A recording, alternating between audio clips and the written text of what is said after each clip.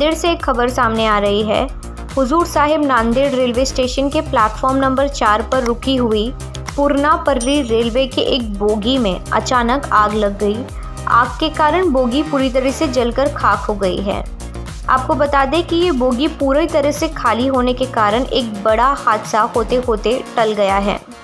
Railway प्रशासन की मदद से और नगर निगम की तैयारी से फायर ब्रिगेड ने पूरी तरीके से आग पर काबू पा लिया है। अभी तक आग लगने का कारण स्पष्ट नहीं हो पाया है। बताया जा रहा है कि रेलवे प्रशासन की जाँच के बाद ही आग लगने का कारण स्पष्ट हो पाएगा।